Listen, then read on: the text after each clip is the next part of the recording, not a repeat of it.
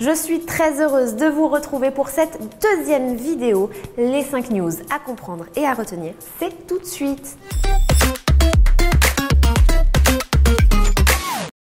On commence avec la Turquie. Pays meurtri de 2016, la Turquie commence une année avec un attentat à Istanbul qui a fait 39 morts et une dizaine de blessés. L'assaillant a pris d'assaut la discothèque L'Arena muni d'une Kalachnikov et a fait un véritable carnage. Nous savons qu'aujourd'hui, l'assaillant est encore sur le territoire turc. D'après le vice-premier ministre Keynak, l'assaillant serait encore en Turquie en fuite et serait protégé par une cellule d'Al-Qaïda. Et cinq jours après l'attentat d'Istanbul, c'est à Izmir qu'il y a eu une voiture piégée devant le palais de justice. Un officier qui était sur les lieux a essayé d'arrêter les deux assaillants en en blessant un dans un premier temps, puis s'est fait tuer. Il était à court de munitions selon la presse turque. L'autre assaillant prenant la fuite a lui tué un huissier et fait 9 blessés. Et on retrouve dans la voiture piégée 5 lance-roquettes et 9 grenades. On en vient à Cédric Héroux, un agriculteur de 37 ans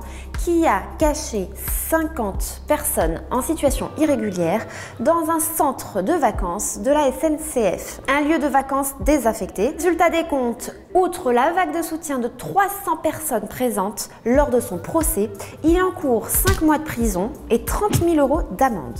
Et maintenant, un petit peu de sport avec notre Robert Marchand. Qu'est-ce qu'il est Et oui, à 105 ans, il fait un record de 22,5 km en une heure à vélo. C'est un record. Cet homme qui a été sapeur-pompier puis vendeur de canne à sucre et maraîcher, à 102 ans, il avait déjà fait un exploit avec ses 26 km. Il nous livre son petit secret de jouvence. Il n'a fumé qu'un mois dans toute sa vie.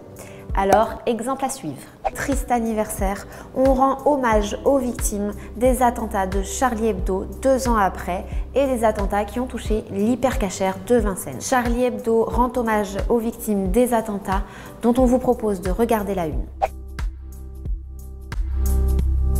Et dernière info, cela nous avait énormément touché, ce garçon marin qui a eu une réaction héroïque en défendant un couple d'amoureux s'embrassant. Il a été violemment frappé avec une béquille sur le crâne. Il s'en remet à peine. Il est aujourd'hui sorti du coma et ça nous émeut énormément. Et ce garçon héroïque est soutenu sur sa page Facebook par 81 000 personnes. Il a réussi à ouvrir un cadeau, nous raconte sa tante, pour Noël, à l'aide d'une main pendant 10 minutes. On espère qu'il se porte bien, on lui envoie plein de courage, plein de bisous, et en tout cas bravo pour son acte de bravoure. C'est tout pour cette semaine, je vous retrouve la semaine prochaine pour les 5 news. N'hésitez pas à réagir sur les réseaux sociaux, j'attends et je lis tous vos commentaires. Plein de bisous